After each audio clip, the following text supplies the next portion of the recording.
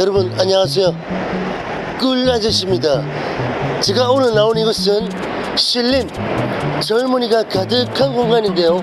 오늘 신림 한바퀴를 걸어보면서 여러분들께 좋은 꿀팁 있으면 알려드리겠습니다.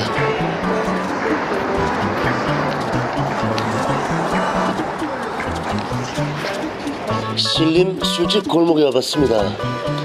여기 보시면 평화의 상징 비둘기가 있습니다. 구구구구구구구 저는 이렇게 동물과도 소통을 잘합니다. 하이 잘 지냈어? 새 같은 년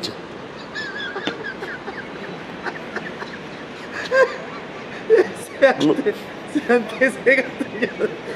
평화의 상징이 평화를 파괴하는 순간이죠. 다음 곳으로 가보시죠.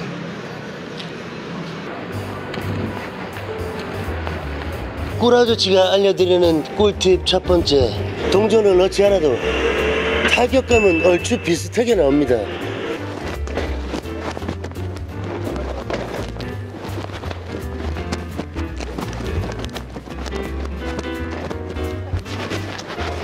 이런 식으로 활용하면 500번이든 1000번이든 스트레스를 풀 수 있죠. 사장님이 안 좋아하지 않을까요? CCTV가 있나요? 네, 저쪽에. 제가 실림에서 아르바이트 하던 시절에 부수익을 올릴 수 있는 꿀팁이 있습니다. 따라오시죠.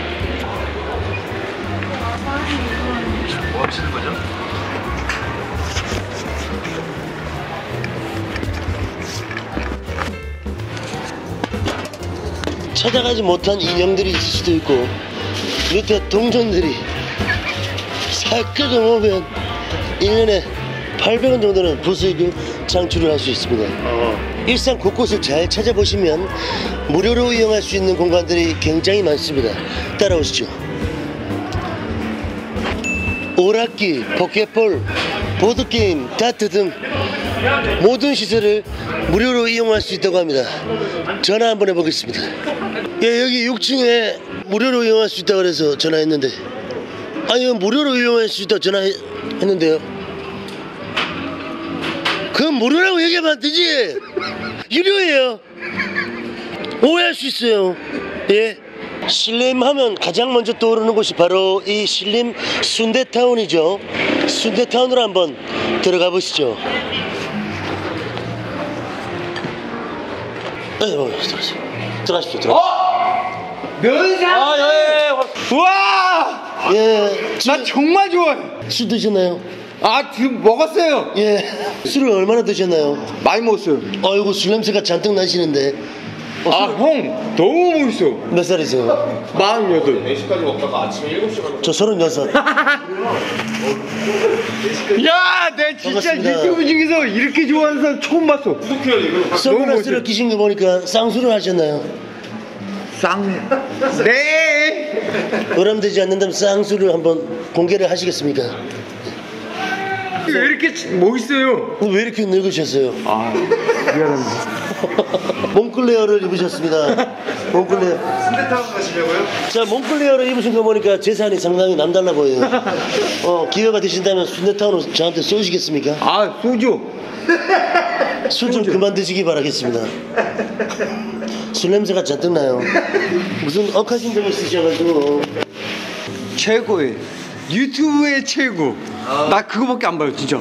그럼 저희를 후원하실 생각 있으십니까? 아, 당연하죠. 한 달에 100만 원씩 꼬박꼬박. 제, 안 돼. 야, 무현아, 일로 와봐. 다정하게 한번 찍어주세요. 네, 좋습니다. 우리 아, 엘리베이터 타시는 게 나을 것 같아요. 무릎도 안 되죠. 엘리베이터 아, 저기 할머니들 가서 엘리베이터 타야 되니까 계단으로 가시죠, 계단. 계단 네, 계단으로. 어, 엘리베이터 왔어요. 엘리베이터 왔어요.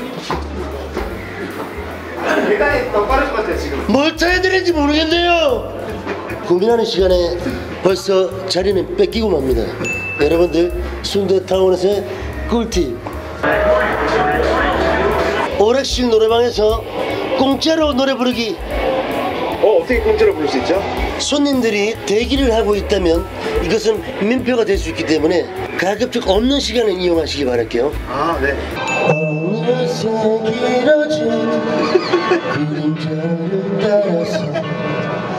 깜깜해진 어둠 속을 그대와 걷고 있네요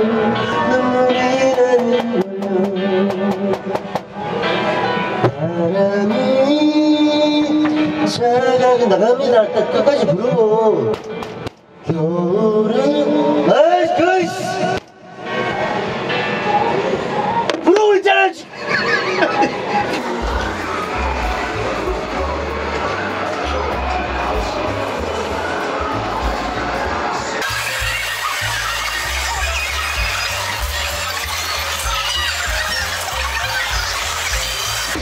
정수기를 활용한다면 여러분들은 하루에 최소한 3,000원 정도를 아낄 수 있다는 꿀팁. 화장품 샵을 이용한다면 여러분들의 보습 걱정 절대 안 하셔도 됩니다.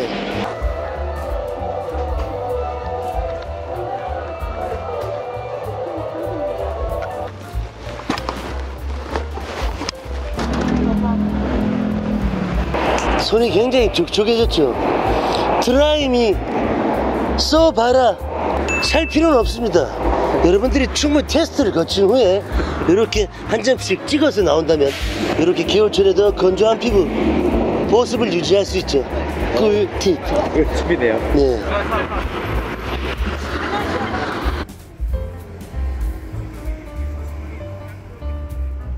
몸의 살보다 이 뇌의 살을 찌우는 게 얼마나 중요한지 제가 깨닫고 있는 요즘입니다. 책은 마음의 양식이죠.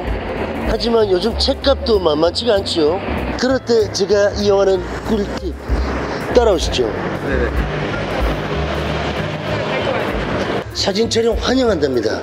제가 오늘 이거를 활용해서 이따가 좋은 모습 보여드리겠습니다. 뭐 하시는 거죠?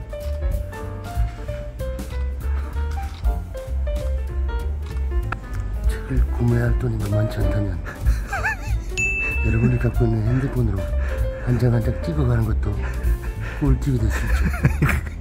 그냥 글씨 새끼 아니에요? 겨울철 간식하면 절대 빼놓을 수 없는 게 바로 이 어묵이죠. 어묵을 배부르게 먹는 법을 제가 알려드리겠습니다.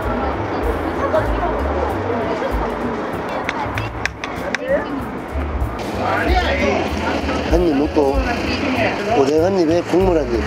오뎅 하나에 국물 2리터면 충분히 배부르게 먹을 수 있어요. 선생님 표정이 많이 어두워지는데. 예? 양아치. 근데 국물을 원래 서비스를 주시는 거 아니에요?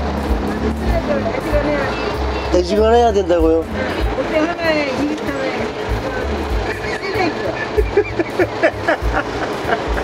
2리터 먹으면 쓰레기라고 하시니 3리터를 먹도록 하겠습니다.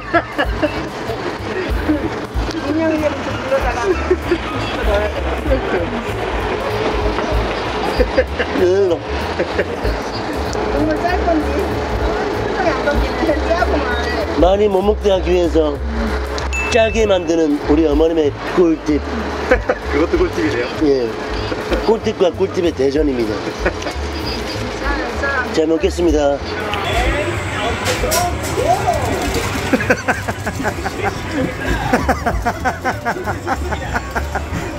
감전된 감전된 것 같은데요.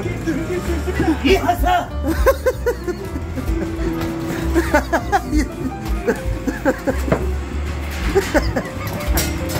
적군들을 모조리 사살하고 저는 집으로 돌아가겠습니다.